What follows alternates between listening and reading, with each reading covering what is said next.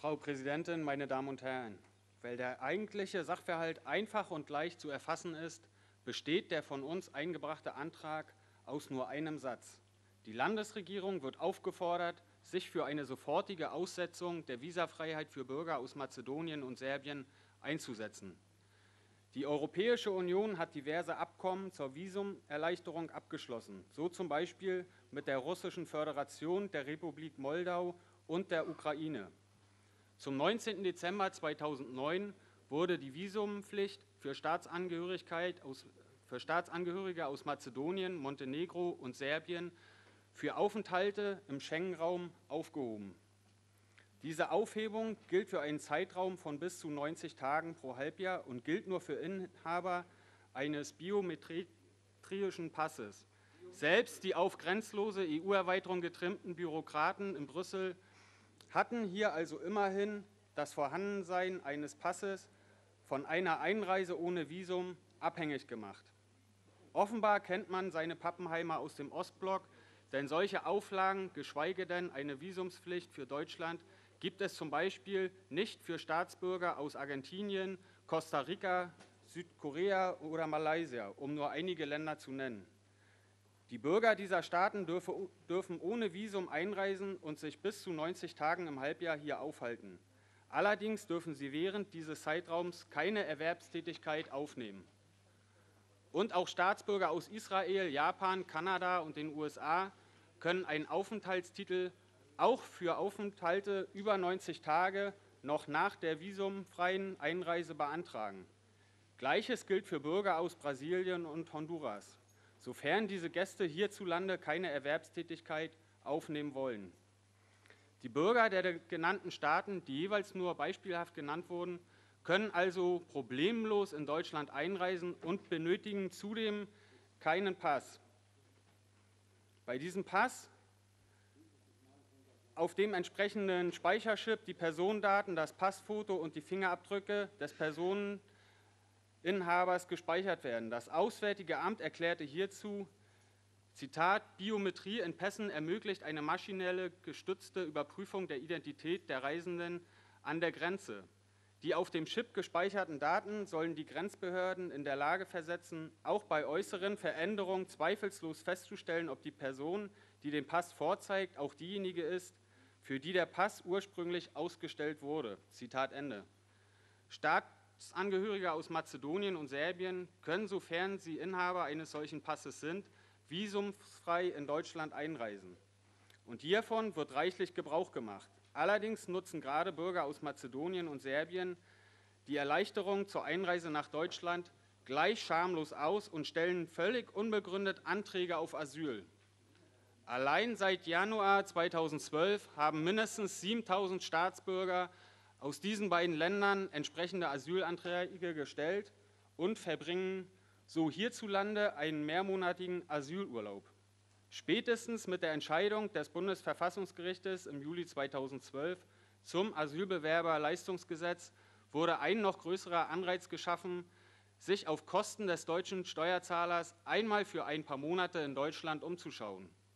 Die durchschnittlichen Realeinkommen in Mazedonien und Serbien liegen unterhalb der deutschen Sozialleistungen. Kein Wunder also, wenn nicht nur in Belgrad die Meldung wie ein Lauffeuer Verbreitung findet, man kann mit einem Asylantrag in Deutschland mehr Geld verdienen als mit ehrlicher Arbeit am Fuße der Karpaten. Und das Schlimmste, was einem Asyltouristen droht, ist die bezahlte Fahrkarte in die Heimat. Diesen Umstand bestätigte am 9. Oktober auch der innenpolitische Sprecher der CDU-CSU-Fraktion im Deutschen Bundestag, Hans-Peter Uhl. Zitat: Seit Januar haben mehr als 7000 Menschen aus Serbien und Mazedonien in Deutschland Asyl beantragt. Die Anerkennungsquote liegt bei 0 Prozent. Das heißt, dass das Grundrecht auf Asyl massiv missbraucht wird.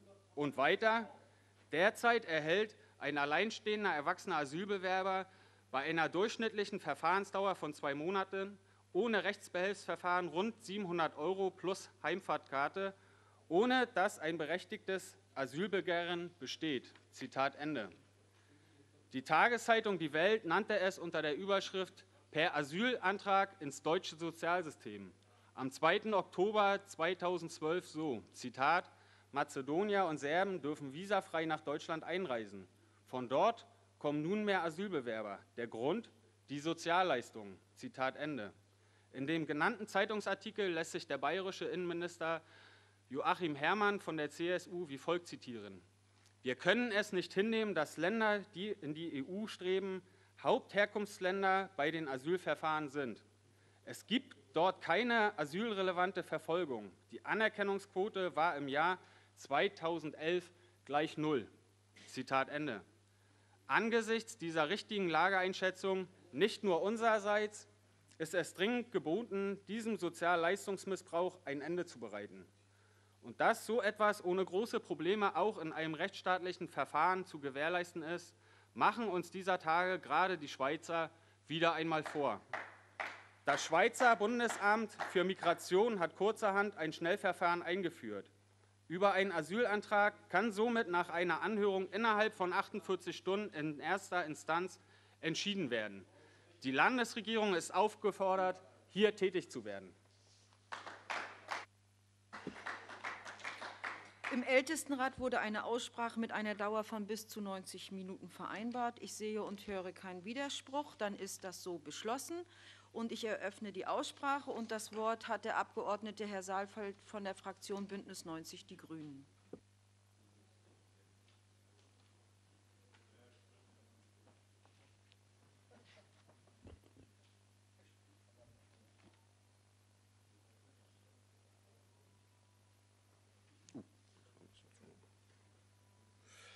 Sehr geehrte Frau Präsidentin, sehr geehrte Damen und Herren, ich frage mich, ob sich die SPD, Entschuldigung, pardon, ich fange nochmal von vorne an.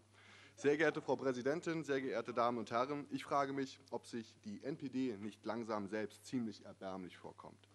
Mit den vier eingereichten Anträgen für diese Landtagssitzung will sie nun also allen Ernstes das in ihren Augen verhasste System verändern, gar das verhasste System abschaffen?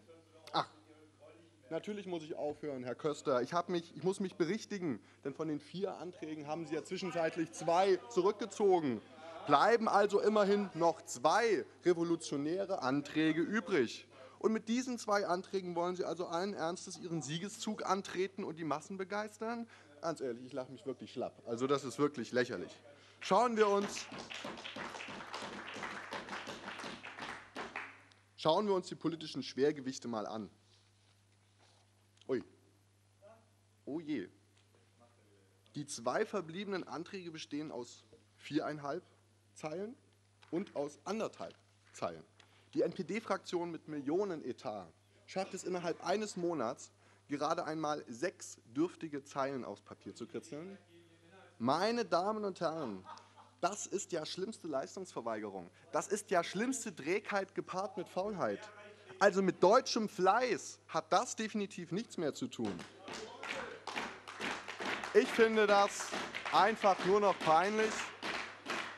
Damit müssen Sie selbst zurechtkommen. Sie diskreditieren mit Ihrem eigenen Auftritt ja die eigene deutsche Sache am allermeisten.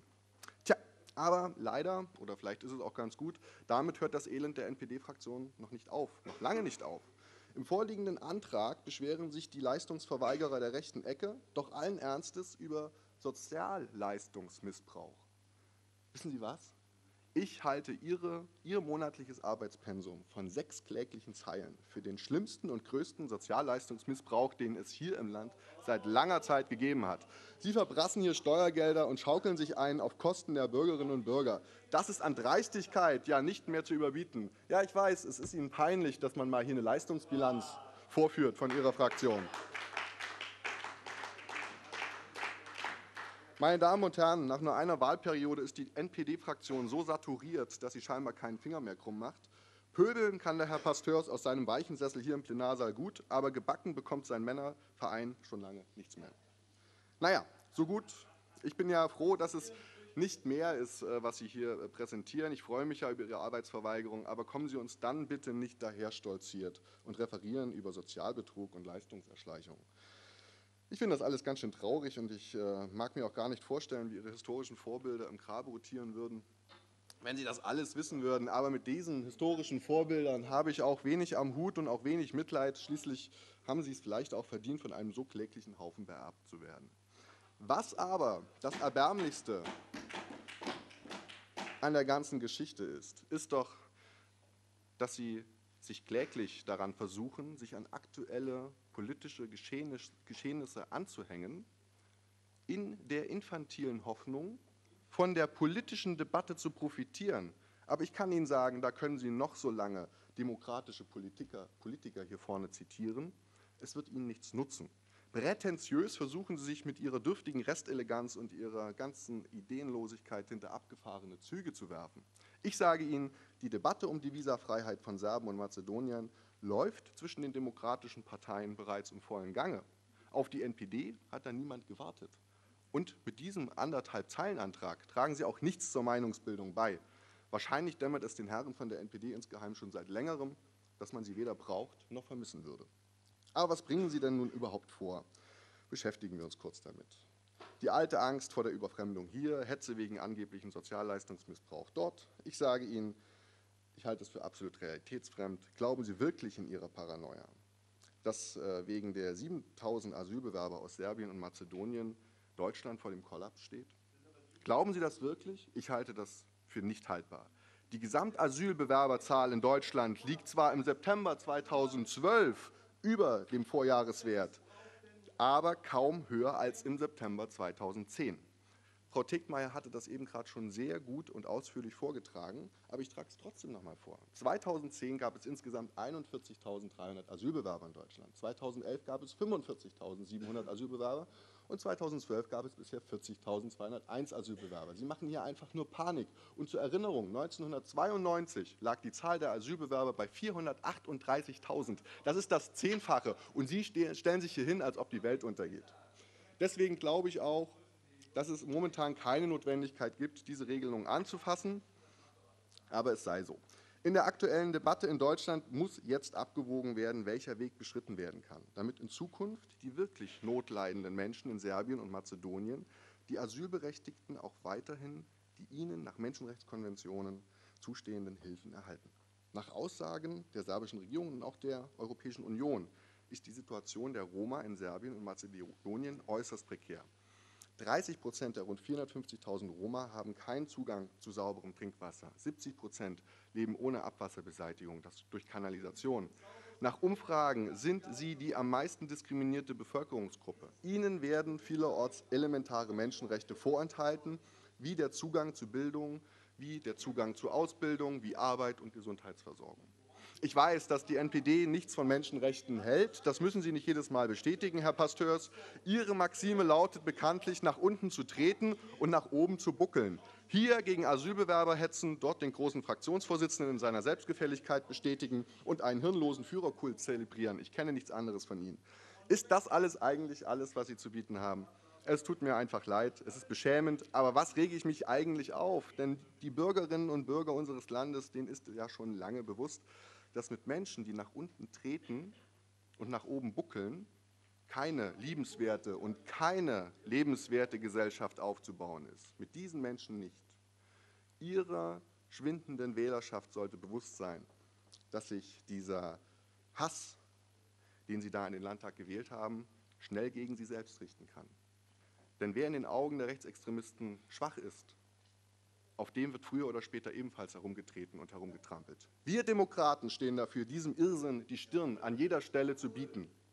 Entscheidend ist aber, meine Damen und Herren, dass die demokratischen Parteien die Debatte um die Visafreiheit bereits führen und nun die sachlichen Argumente gegeneinander abwägen. Ganz bestimmt wird dieser alberne Anderthalbzeiler nicht in unsere Bewertung eingehen, den die NPD hier vorgelegt hat. Deswegen können wir Demokraten und Demokratinnen, auch wenn wir in der Sache nicht einer Meinung sind, dieses traurige Stück Papier mit bestem Wissen und Gewissen ablehnen.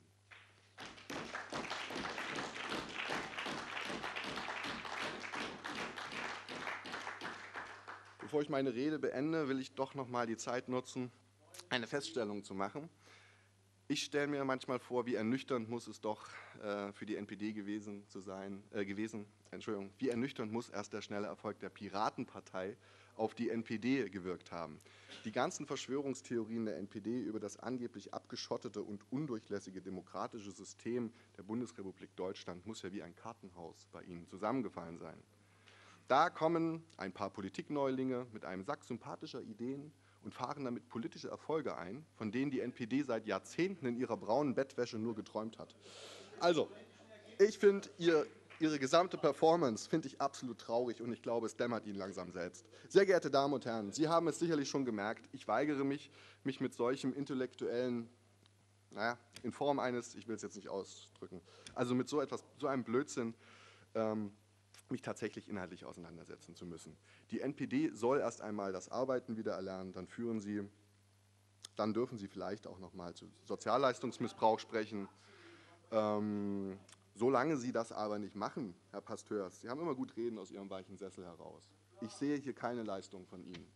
Sie mögen vielleicht manchmal den Finger in eine Wunde legen können, aber wo sind denn die Konzepte für diese Gesellschaft? Ich sehe nichts, ich sehe überhaupt nichts, wie Sie etwas für diese Gesellschaft tun. Aber so, solange Sie hier. Ähm, Herr Saalfeld, Entschuldigung, mal ja. ganz kleinen Moment. Herr Pasteurs, Sie kennen das immer wieder, diese Zwischenrufe, die dann schon fast in Dialoge aus, ähm, sich ausbreiten. Ähm, aber Sie haben eben den Abgeordneten Saalfeld ähm, beleidigt, sogar wiederholt. Und dafür erhalten Sie den zweiten Ordnungsruf mit der Belehrung, dass ein dritter Ordnungsruf den Redeentzug nach sich zieht. Und Herr Saalfeld hat wieder das Wort. Ich war schon fast am Ende, denn ich wollte der NPD, ich weiß nicht, warum ich es mache, einen kleinen Rat mit auf den Weg geben. Sprechen Sie nicht über ehrliche Arbeit, wenn Sie es selbst nicht können.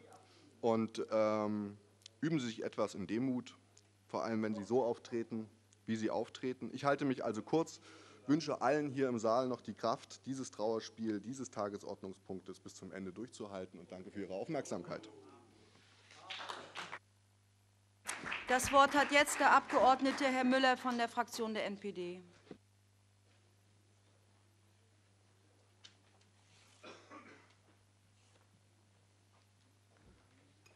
Frau Präsidentin, meine Damen und Herren! Die Visumfreiheit für Serbien und Mazedonien muss auf den Prüfstand gestellt werden. Einen entsprechenden Beschluss hat der Rat der Innenminister auch auf unser Betreiben hin bereits im April 2012 getroffen. So zitiert, so zitiert die Zeit die Welt am 12. Oktober 2012 den CSU-Politiker und Bundesinnenminister. Herrn Hans-Peter Friedrich. Passiert ist offensichtlich seit April, also seit mehr als einem halben Jahr, rein gar nichts. Die Zeitung Neues Deutschland vom 13. Oktober 2012 berichtet, Zitat, Bundesinnenminister Friedrich wirft Serben und Mazedoniern, die nach Deutschland gekommen sind, Asylmissbrauch vor. Zitat Ende. Im gleichen Artikel wird Herr Friedrich mit den Worten zitiert, der zunehmende Asylmissbrauch ist nicht akzeptabel. Zitat Ende. Die Süddeutsche Zeitung berichtet ebenfalls am 13. Oktober 2012, Zitat, insbesondere Angehörige der Roma-Minderheiten reisen seither vermehrt in die nördlichen EU-Länder und stellen dort Asylanträge. Diese sind jedoch aussichtslos, weil die Roma zwar oft sehr arm sind, aber nicht politisch verfolgt. Auch der SPD-Innenexperte im Bundestag, Michael Hartmann, forderte ein konsequentes Durchgreifen. Hier solle mit der nötigen Strenge ein Signal gesetzt werden, sagte Hartmann dem Südwestfunk. Es seien gewissenlose Banden am Werk, die Menschen vom Balkan nach Deutschland lockten, um eine gewisse Zeit in diesem System zu sein. Zitat Ende. Und am gleichen Tag berichtet die Tageszeitung, Zitat, viele Asylaufnahmeeinrichtungen in Deutschland sind derzeit überfüllt. In Nordrhein-Westfalen und anderen Bundesländern haben die Behörden begonnen, Notunterkünfte etwa in Sporthallen zu eröffnen. So wurde in Köln am Mittwoch eine Sporthalle für 200 Flüchtlinge zur Verfügung gestellt. Zitat Ende. Auch wenn hier fälschlich von Flüchtlingen gesprochen wurde, legte die gleiche Zeitung am 17. Oktober 2012 in dieser Sache, nämlich der Unterbringung von 200 Zigeunern in der Turnhalle am Reitweg im Kölner Stadtteil Deutz mit interessanten Details nach. Zitat: Die meisten von ihnen sind Roma aus Serbien und Mazedonien. Nach Köln sind sie Ende vergangener Woche gebracht worden, weil die Erstaufnahmeeinrichtungen Nordrhein-Westfalens in Dortmund und Bielefeld überfüllt sind. Auch die Durchgangseinrichtungen in Hema und Schöppingen platzen aus allen Nähten. Zitat Ende. Der Irrsinn geht inzwischen so weit, dass man in Düsseldorf sogar die Bergische Kaserne der Bundeswehr mit Asylbewerbern belegen wollte. Dieses Ansinnen wurde seitens der Bundeswehrverwaltung konsequent zurückgewiesen. Ausweislich meiner kleinen Anfrage Drucksache 6-769 und der kleinen Anfrage meines Kameraden David Peterreit Drucksache 6-1178 stellt sich die Entwicklung der Asylbewerberzahlen aus Serbien wie folgt dar. Während vor Inkrafttreten der Visabefreiung 2009 in Mecklenburg-Vorpommern in jenem Jahr ganze zwei serbische Staatsbürger einen Asylantrag stellten, waren es im Folgejahr 2010 schon 118 Serben und 2011 dann bereits 169 serbische Staatsbürger. Wer angesichts dieser Entwicklung so tut, als sei diese Problematik quasi über Nacht entstanden, lügt wieder besseren Wissens oder hat dieses Problem schlicht verdrängt. Die genannten Zahlen zeigen aber auch auf, wie verlogen der Aktionismus ist, den zahlreiche Politiker gerade aus Reihen von CDU und CSU an den Tag legen. Jetzt, wo die Unterbringungsmöglichkeiten aus allen Nähten platzen, will man sich des Problems annehmen. Drei lange Jahre war man untätig und hat weggeschaut. Man hat diesen Sozialschmarotzer-Tourismus zugelassen, übrigens auch zulasten jener Asylbewerber, die unter Umständen tatsächlich einen Anspruch auf politisches Asyl in Deutschland hätten. Die Roma bezeichnet man ja auch landläufig als fahrendes Volk und Reisende soll man bekanntlich nicht aufhalten. In diesem Sinne wünschen wir den Asylzigeunern eine gute Heimreise.